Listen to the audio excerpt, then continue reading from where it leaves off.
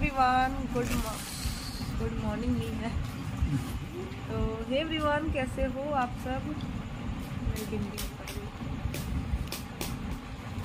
तो hey everyone कैसे हो आप सब? आई होप आप सभी अच्छे होंगे। और अभी रात के बज रहे ग्यारह, और अब जा रहे हैं खाना खाने। जब सब लोगों की आधी नींद पूरी हो जाती है, फिर हम लोग लंच कर डिनर करते सॉरी इस टाइम पे ना गाइस सभी सो रहे होंगे। सभी की एक एक नींद पूरी हो गई होगी। बट मैं और ये जो शख्स दिख रहा है आपको देखिए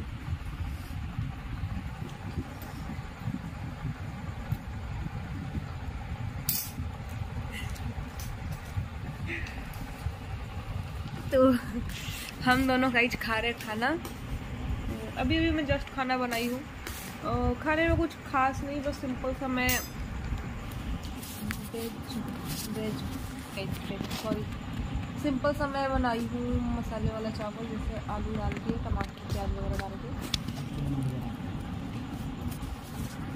तो गाइस जो अभी हम लोग खाना में बनाई हूँ, आलू और सोया बड़ी डाल के ना मैं सूखे से चावल मसाले वाले। तो वही मैं बनाई और वही खा रहे और नींद मुझे जोरों से आ रही है। बच्चे, सो गए गाइस शाम को बच्चों को खाना खिला दी थी। बच्चे थके हुए हैं काफ़ी ज़्यादा इसलिए सो गए थे। और वैसे भी नौ दस नौ बजे सो गए थे बच्चे आज। तो इधर मेरे हस्बैंड ही खाना खा रहे हैं। तो हैं। और साथ में ये कहा गया। ये भी खा रहे हैं। कुरकुरे लेके आई थी गाइस कुरकुरे खा रहे हैं। और मैं तो खाना खा ली पहले ही। इनका वेट करते करते मैं आज खाना खा ली। मैं प्लेट में निकाल के रखी हूँ, मैं सोची अब आएँगे अब आएँगे, पर ये आ ही नहीं रहे थे। कभी इनको कोई काम याद आ जा रहा था तो कभी कोई काम, इसलिए फिर मैं खाना खा लिया अकेले। और बच्चे मेरे पीछे सोए हुए हैं। मैं यहाँ सोई हुई हूँ, और ये यहाँ खाना खा रहे हैं, और ये हमारा मिक्स मतलब मसाले वाला चावल। तो आधा जो दिख रहा है ना, आधा मैं फिनिश की हूँ और आधा ये खा रहे हैं। तो फिफ्टी फिफ्टी खा लिए है अपना अपना हम लोग। और खाना होगा तो खा लेंगे बट फ़िलहाल भूख नहीं लगी है पेट फुल हो गया है। मैं सोची सवेरे से आप सभी से बातें नहीं की हूँ। तो थोड़ी सी ब्लॉगिंग कर लेते हैं। और ये खाते खाते फ्रेंड दो काम कर रहे थे, देखिए। फ़ोन चलाने का और खाने का बताइए दो दो काम एक साथ करते हैं। ये काम तो कोई भी कर सकता है। है ना? बिल्कुल इजी काम है ना? खाते रहो फ़ोन चलाते रहो। अचार अचार। अचार है।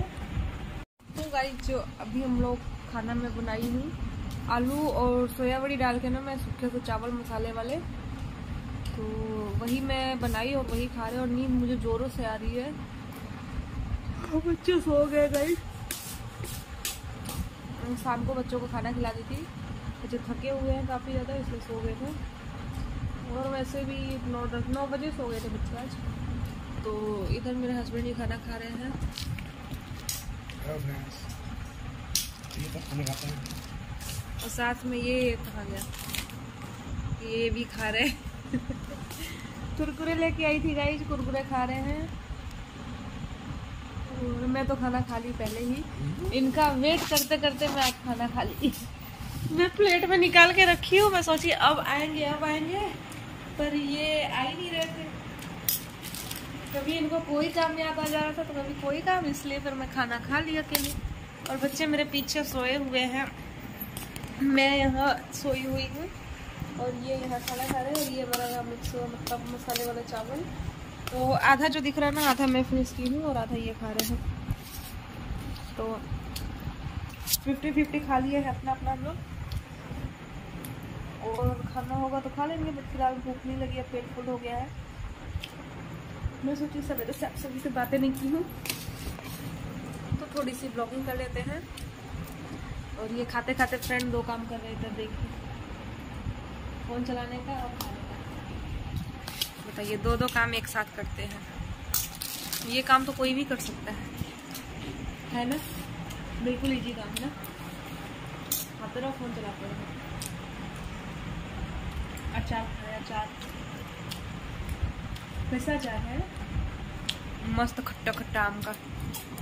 कच्चे आम का अचार बना गाइज़ बहुत ही टेस्टी